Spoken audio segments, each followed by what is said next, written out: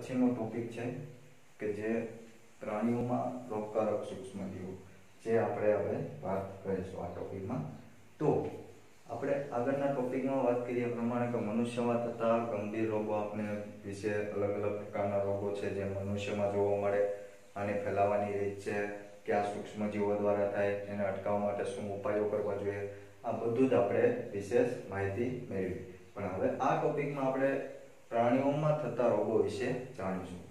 તો આપણે અનેક રોગો છે, અનેક સૂક્ષ્મજીવો દ્વારા અનેક પ્રકારના રોગો છે આપણે વનસ્પતિઓના મનુષ્યમાં થતા રોગો નથી. પણ સૂક્ષ્મજીવો દ્વારા થતા રોગો છે, તો એ પ્રાણીઓમાં પણ જોવા મળે છે. તો કે હું તમને એક ઉદાહરણ આપું. તો ઉદાહરણ તરીકે એન્થ્રેક્સ નામનો રોગ. એન્થ્રેક્સ નામનો રોગ આ એન્થ્રેક્સ નામનો રોગ છે. એ પ્રાણીઓ અને મનુષ્ય બંનેમાં જોવા મળતો રોગ છે. પ્રાણીઓ અને મનુષ્ય.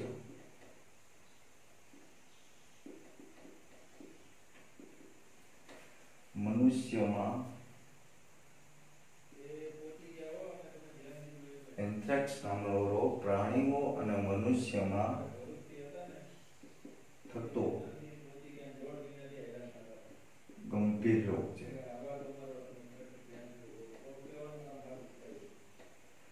એટલે આ એક પ્રાણીઓમાં એન્થ્રેક્સ નામનો રોગ એ મનુષ્ય અને પ્રાણીઓમાં બંનેમાં જોવા મળતો રોગ છે જે આ રોગ છે એ બેક્ટેરિયા દ્વારા ફેલાય બેક્ટેરિયા બેક્ટેરિયા દ્વારા થાય છે ફેલાય છે આનું મુખ્ય કારણ શું રોગ થવાનું બેક્ટેરિયા. હવે,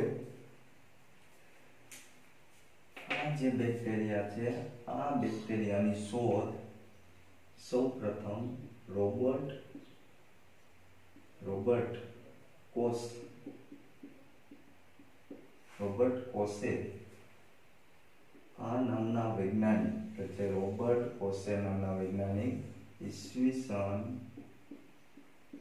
અઢારસો ને છોતેરમાં એણે આ બેક્ટેરિયા નામની શોધ કરી. પણ કયા નામના બેક્ટેરિયા? જે બેક્ટેરિયા બેસિલસ એન્થ્રેસિસ સિસ બેક્ટેરિયા કે જે મનુષ્ય અને પ્રાણીઓમાં જોવા બેક્ટેરિયા દ્વારા થતો રોગ છે જેને આપણે એન્થ્રેક્સ નામનો રોગ કહીએ છીએ આ બેક્ટેરિયાની શોધ સૌપ્રથમ વૈજ્ઞાનિક હતા રોબર્ટ કોસે જે ઈસવીસન અઢારસો ને છોતેરમાં એણે આ બેક્ટેરિયા કે જે બેસિલા એન્થ્રેસિસ નામના બેક્ટેરિયાની શોધ કરી પછી એનો વાહક તરીકે એન્થ્રેસિસ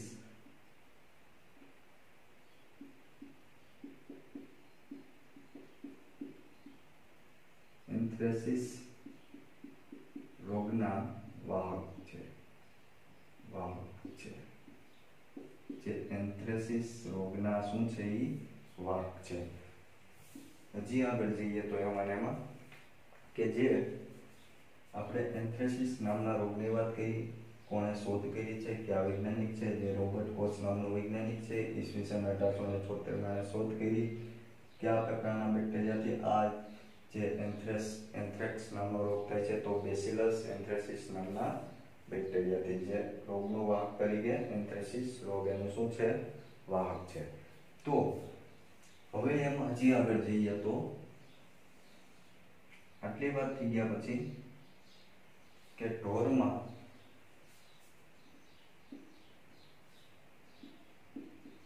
ઢોરમાં ફૂટ અને માઉથ ડિસીઝ વાયરસ દ્વારા થતો રોગ છે. મનુષ્યમાં આ પ્રકારનો રોગ છે એ મનુષ્યમાં જોવા મળે પણ હકીકતમાં ઢોરમાં છે એ એન્થ્રેક્સ નામનો રોગ છે. એ કોના દ્વારા થતો હોય એક વાયરસ દ્વારા જે ફૂટ એટલે પગ અને માઉથ એટલે મોં. કે જે પગ અને મોઢામાં જે જોવા મળતો વાયરસ નામનો રોગ છે, એના દ્વારા પણ ફેલાય છે.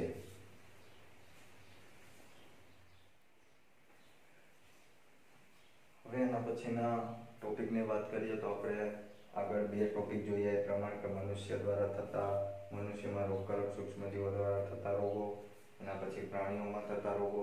હવે એના પછી આવે છે કે વનસ્પતિમાં થતા રોગો. કે સૂક્ષ્મજીવો દ્વારા વનસ્પતિમાં પણ રોગો જોવા મળે છે. આપણે ઉદાહરણ લઈએ તો બટાકા, પછી શેરડી, પછી આપણે લઈએ તો કોઈ પણ છે, ઘઉં વગેરે. આવી જે પાક ઉત્પાદનની વસ્તુઓ છે, તો એમાં રોગો ઉત્પન્ન થાય રોગકારક સૂક્ષ્મજીવો હોય રોગકારક સૂક્ષ્મજીવો દ્વારા હવાની ચલાવવાની રીતે આમાં રોગો જોવા મળતા હોય તો આવા પાક ઉત્પાદનમાં શું થાય છે? ઘટાડો.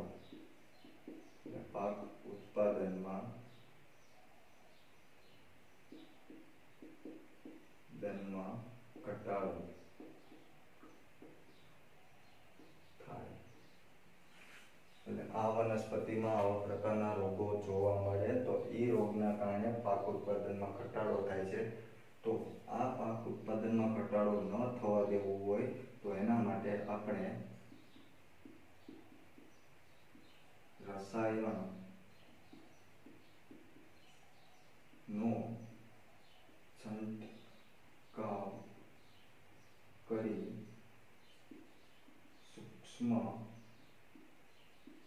જીવોને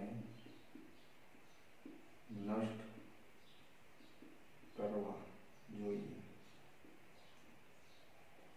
એટલે એવા રસાયણનો છંટકાવ આ પાક ઉપર કરી અને આપણે પાક ઉત્પાદન મેળવી શકીએ તો આમાં વનસ્પતિમાં આવા પ્રકારના રોગો જોવા મળે છે, તો એ રોગો ક્યાં ક્યાં છે.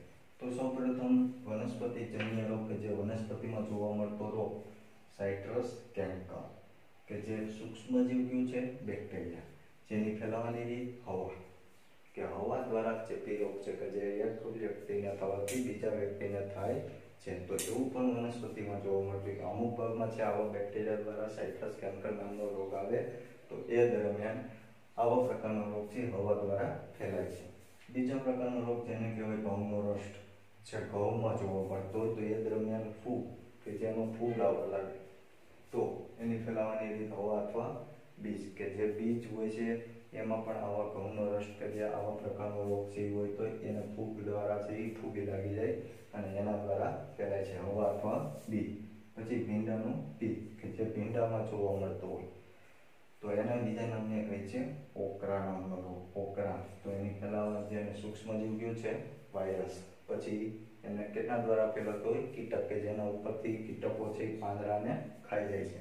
તો એ દરમિયાન સાઇટ્રસ કેન્કર ઘઉંનો રસ અને ભીંડાનો પિત્ત, કે જેને આપણે બીજા નામે કહીએ છીએ ઓકરા જેની ફેલાવવાની રીત હવા હવા બીજ અને કીટક, કે જેને બેક્ટેરિયા ફૂગ અને વાયરસ આ ત્રણ સૂક્ષ્મજીવો દ્વારા આપણે આ વનસ્પતિઓ છે, જેના પાક ઉત્પાદનમાં શું કરે છે, રોગકારક સૂક્ષ્મજીવો ઉત્પાદનમાં ઘટાડો કરે છે. આપણે એને રોગકારક સૂક્ષ્મજીવોને નષ્ટ કરવા માટે આપણે કેવા રસાયણનો જેના માટે રસાયણનો છંટકાવ કરવો જોઈએ?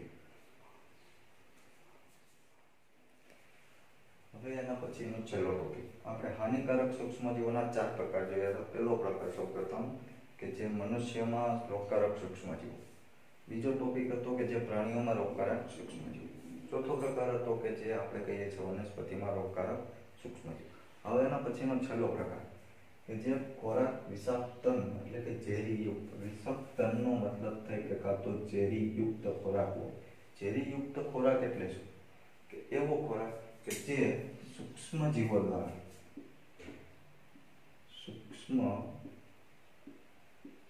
જીવો દ્વારા ખોરાક છે એ વિષકારક વિષકારક એટલે કે ઝેરી બની જાય જેને એક પ્રકારનો પ્રદૂષિત કરી ખોરાકને બગાડી નાખે ઘણી વખત છે ખોરાક બગડે તો એમાંથી અથાણું હોય તો અથાણું બગડી જાય તો એ દરમિયાન આપણે જો ખોરાકની જાળવણી ન કરીએ, ખોરાક ઉપર જે આપણે અથાણું બનાવે છે તો અથાણું ઉપર તેલ રાખવામાં જેથી કરીને એ એના ઉપર ફૂગ લાગે નહીં. પણ જો તેલનું માત્રા ન હોય તો એ દરમિયાન એના ઉપર ફૂગ આવી જાય છે અને આપણે ખોરાક છે એ ખાટો, ખાટી વાસ આવવા લાગે છે. તો એ ખાટી વાસ આવવા લાગવાનું કારણ શું? કે જે વિષકારક થઈ ગયો, કેવો બની ગયો? વિષક્તન ખોરાક કે ઝેરીયુક્ત થઈ ગયો છે.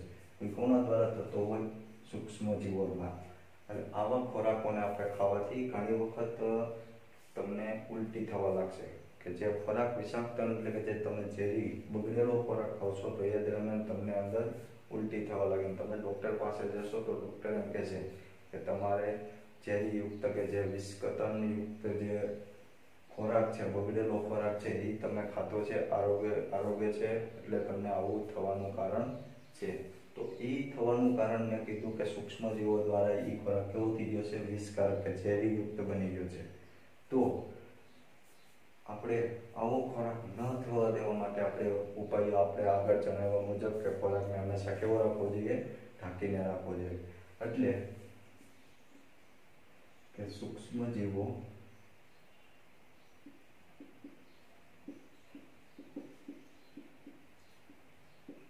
દ્વારા વિષકારક ખોરાકને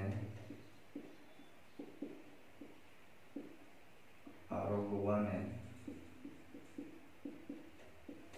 કારણે ઘણી બધી ઘણી બધી ગંભીર બીમાર પેદા થાય છે. ઘણી વખત મૃત્યુ પણ થાય છે. એટલે આપણે મુજબ આગળ વાત કરીએ, મુજબ કે સૂક્ષ્મજીવો દ્વારા આ ખોરાક છે, ઝેરી યુગ જેને કહીએ છે વિષકતન થયું છે.